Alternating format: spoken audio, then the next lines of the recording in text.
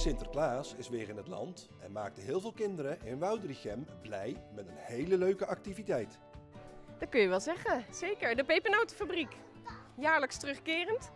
Uh, we hebben dit jaar uh, op een nieuwe locatie. We zitten altijd met kinderopvang buiten gewoon aan de middelvaart. En dit jaar uh, voor het eerst in de werf, dus samen met de Biep. Meer dan 150 kinderen wisten de pepernotenfabriek te vinden. Heel druk. We hadden 150 routekaarten uitgeprint en die waren al binnen een half uur weg. Dus we hebben nu bijgeprint. En inderdaad heel veel kinderen. Heel leuk.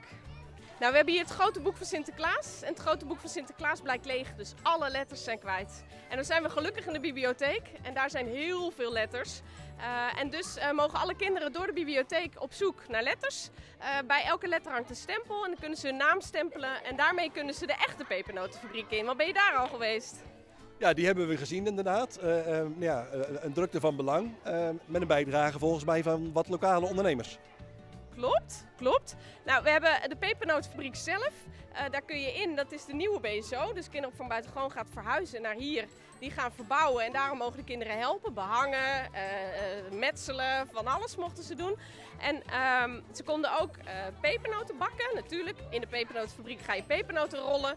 En de, deeg, 15 kilo deeg, is bijgedragen door de Korenmolen Nooit Gedacht.